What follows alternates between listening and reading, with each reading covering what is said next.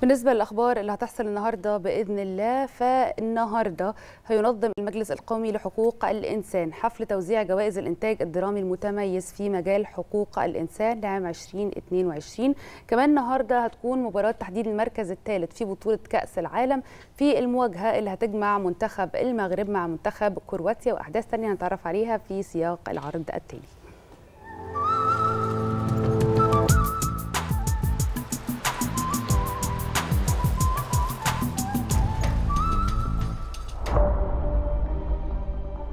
بالنسبة للأخبار اللي هتحصل النهاردة فالنهاردة هينظم المجلس القومي لحقوق الإنسان حفل توزيع جوائز الإنتاج الدرامي المتميز في مجال حقوق الإنسان لعام 2022 هيشهد الحفل تكريم أصحاب الأعمال الدرامية الداعمة لحقوق الإنسان بعد ما تم تقييم مسلسلات رمضان السنة دي بواسطة لجنة متخصصة من النقاد والمخرجين والإعلاميين تحت إشراف لجنة الحقوق الثقافية بالمجلس.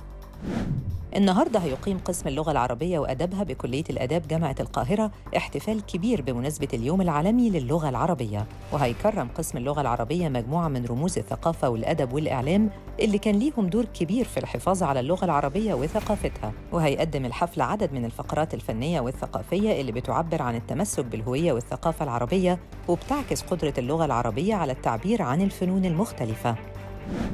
النهارده والعشاق كأس العالم موعدهم مع مباراة تحديد المركزين الثالث والرابع بين منتخب المغرب ومنتخب كرواتيا الساعة 5 مساءً.